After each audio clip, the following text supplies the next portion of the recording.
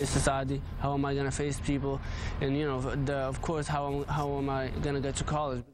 He was falsely accused of being the Boston Marathon bomber. His picture, as you can see here, plastered on the cover of one of the most well-known newspapers in the country. Years after the bombings, he's finally telling his story, and he's telling it to our Ken MacLeod. Salah Barhoum likes the front row of his freshman business class. If you want to be successful, then you got to put in the work. You got to be stay motivated. You got to stay humble. But for this immigrant from Morocco, the incident that spawned that strategy was a nightmare for which he has now found a positive frame.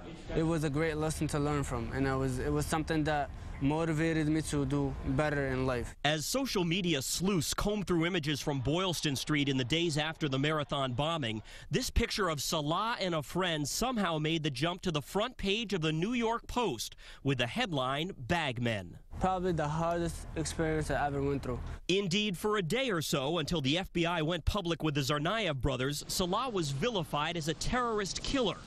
As part of an assignment, he recently told this class how the ordeal nearly broke him. All of a sudden, in the middle of the class, it dawned on us this is the guy.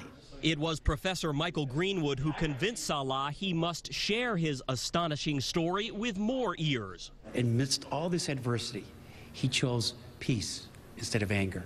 On Thursday, Salah will confront another one of his big fears, public speaking, when he tells his story to an auditorium full of fellow students here at Fitchburg State.